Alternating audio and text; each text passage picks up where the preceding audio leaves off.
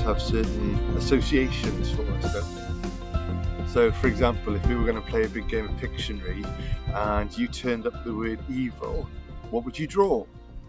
The truth is, a lot of us associate the word evil uh, either with a rather cartoonish version of evil, the little mad creatures, usually red with horns uh, and pitchforks running around, uh, or we only ever associated with those things that we would categorize as obviously and deeply wrong and and and uh, you know dirty and twisted.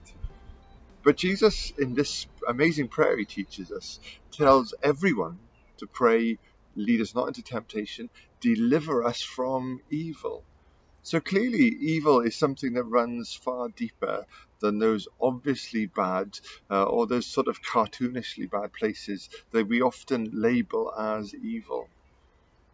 What are the evils in our world that God wants to deliver people from? What is He right now, through the power of prayer, wanting to deliver us from? it was really great uh, last week to have the chance to chat to uh, a couple called Joe and Lois Ovenden. Uh, they're working uh, with the BMS and, and, with other partners in Gulu, Uganda. Uh, and it was really interesting to chat with them about what it means in their lives and in their work to pray, deliver us from evil. I, I, guess for a lot of people, um, you know, as they think about sort of mission and, and mission workers, um, it, would be great just to hear from you guys. How does a couple from from Sheffield uh, end up sort of uprooting, you know, their lives, their future plans, their careers, uh, and end up working out in, in Uganda and, and raising a family there? Uh, how, how did that come about for you guys? That's a that's a good question. um, we wonder it sometimes, but then we remind ourselves that it something that God placed on our heart even before we got together. Even in fact, it was part of the decision making in terms of whether we would um, kind of spend our lives together. That sense that we both had that God was calling us to um, to work overseas, um, and that sense of um, justice um, that he put on both of our hearts and um, to serve in parts of the world where yeah i suppose where he we felt this sense of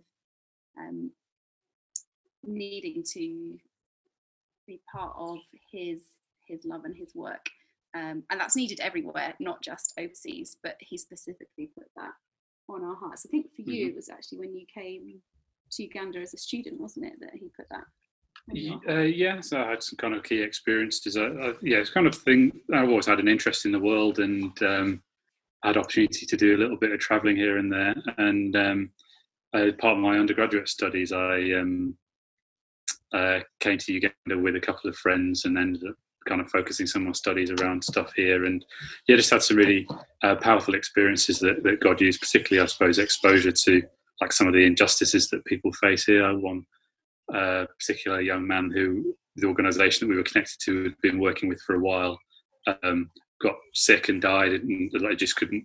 It was stuff that could have been, or certainly was preventable, or could could have received treatment, but just the healthcare infrastructure infrastructure that he was able to access at the time just wasn't there, and um, yeah, those experiences um, really spoke to me powerfully, and um, yeah, kind of God.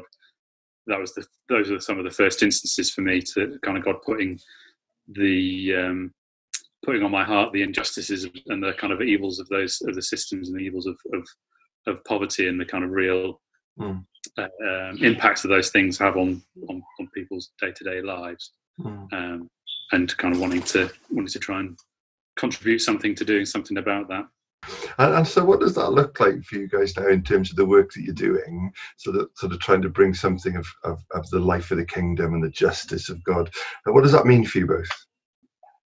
Uh, well, we work for an organisation called BMS World Mission, um, which is a UK-based Baptist uh, mission organisation, um, and the main thrust of our work here is through the network of Baptist churches. So we work very closely alongside. There are two Baptist associations that serve different parts of of, of Gulu and the kind of neighbouring districts. Um, and our main, so my, my role within the team is overseeing our different development activities. So um, the longest running one is uh, working with uh, rurally isolated communities um, training them in improved farm techniques and um, uh, distributing seeds, uh, trying to get them to treat their farming activities as as business, an opportunity for household income, and not just for um, uh, subsistence, not just for kind of living uh, and eating. Um, and other work activities, we have a cl- close partnership with um, Christian Lawyers Organisation, and um, we've been doing uh, child protection training in schools with them. Um, and then part of our work also is uh, speech therapy work. Yeah, disability in particular here is perceived in particularly in a spiritual way, um, and um, there is the inequality, the in, um, the injustice that is associated with disability is particularly marked. So um, for me, the work here isn't about just about being able to help people have a voice and to be able to communicate. There's this kind of bigger spiritual element of like because some, just because someone has a disability, they are still made in the image of God. They are still have um, the right to access healthcare and to mm-hmm. access education and to be um, seen as like fully fully human really and i think when we dehumanize people for whatever reason, whether that is disability or any other reason, whether it's through race or socioeconomic status, when we treat people um, in a way that doesn't reflect how God sees somebody, mm. then we are we are complicit um, with with evil. So we need to we need to stand against that, whether that is helping people out of poverty or um, standing up for children's rights in hmm. schools, mm. or it's giving um, families a different perspective on disability. All of that for me is um, delivering, helping God's kingdom to come and delivering from evil. Because I would see evil as like um, the absence of what God is and what God's heart is. So if, hmm. if God's heart is love and justice, compassion, mercy, when we don't see that, that's when we are, you know, if that, that's if those things are things that are present, then that's for me what I would I would see as evil, um, both personally and on, on a big level. Yeah, so yeah. when we stand against that in whatever way that is, whether it's in our personal lives or in the work that we do, um, hopefully we're part of bringing about God's kingdom and and standing against asking God to help us to stand against evil. Mm-hmm. Yeah. In, in, terms of the sort of the uh, rhythm of, of life for you guys, um, what, what does prayer look like for you in terms of you know you got, got a young family, you, are both very very busy, um, many many challenges um, in the sort of culture and context that you're in. Uh, what does prayer look like? uh, yeah, definitely has changed throughout different seasons. Um, I happen to be in a in a phase of of feeling like prayer is something that's becoming a bigger thing. At this phase, I have to say, I have had basically no rhythm of like daily prayer, intentional daily prayer since the children were born. Connie's just about to be, our oldest is about to be six. So for about six years, which is basically all the time that we've been in Uganda, I've had a really poor rhythm. um, and I've just now the children all sleep through the night. I'm just re-entering into a life. life, sleep and getting up um, in that. Um, so now it does it has shifted a bit for me personally mm. prayer probably for the last few years has been this case of like um immediate needs prayer mm. like where there's this kind of like there's this situation and i need to pray for it right now mm. um and like arrow prayer is just like okay god help me right now or there's this situation please break in um, and there's just been this recent season so please don't think that missionaries have got it. We don't.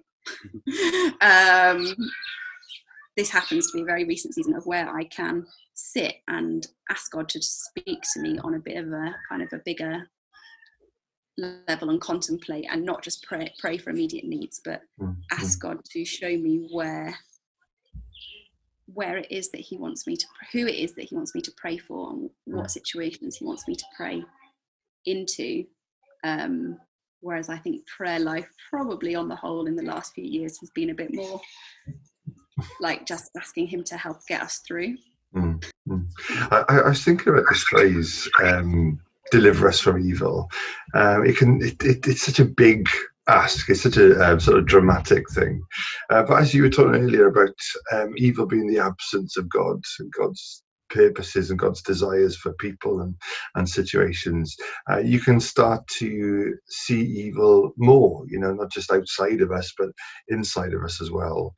Uh, and so, if, if prayer is part of that sort of um, spiritual battling through and that seeking of, uh, of God's presence, etc., if, if somebody, had, had, you know, in this season it is experiencing that um, sense of being apart from God or the or the lack of, uh, of what God wants for them, how would you just sort of suggest to them they could start in, in prayer? Where, where would they begin?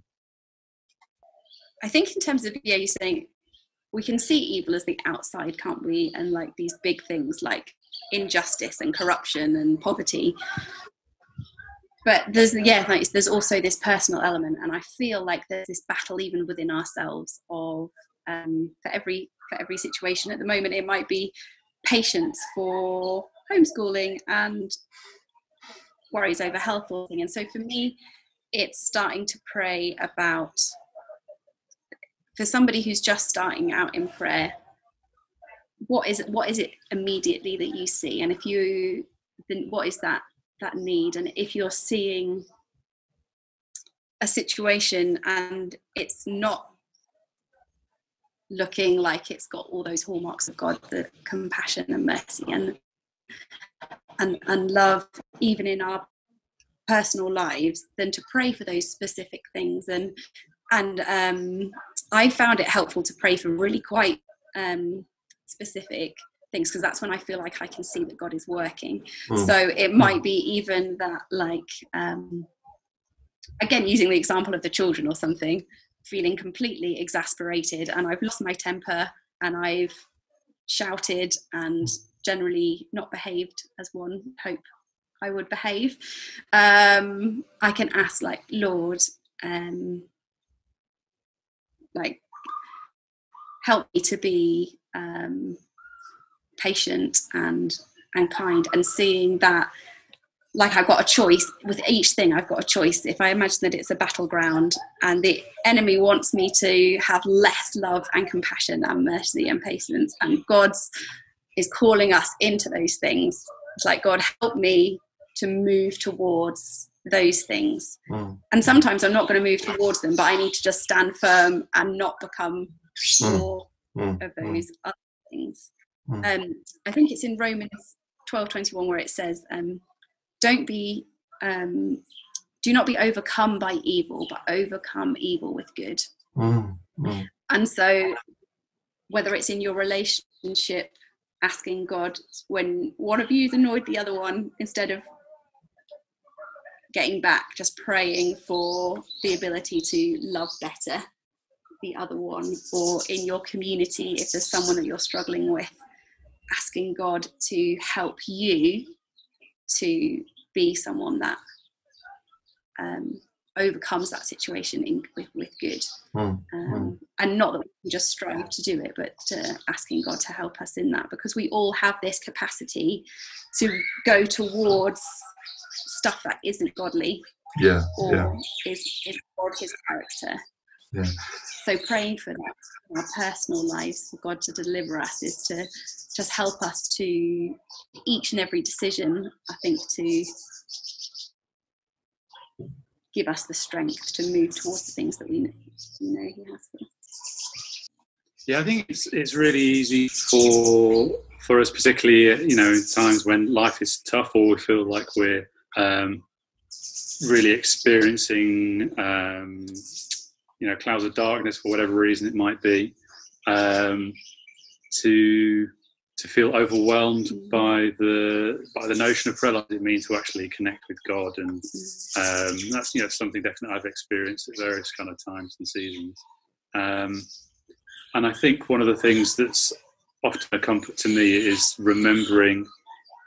I suppose the pure essence of prayer is is communication and connection, and um, and I suppose that's the uniqueness of, of our Christian faith is that yes, God is holy and awesome and all powerful, um, but He's also deeply personal and connected mm. and, and, intimate.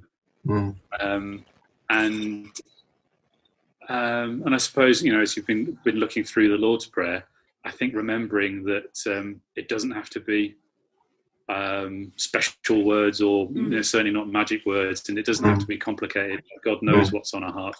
He knows the things that are troubling us. Mm. Uh, what He wants and what we need is is connection with Him, mm. and uh, and yeah, just those those simple words of Jesus in the Lord's Prayer.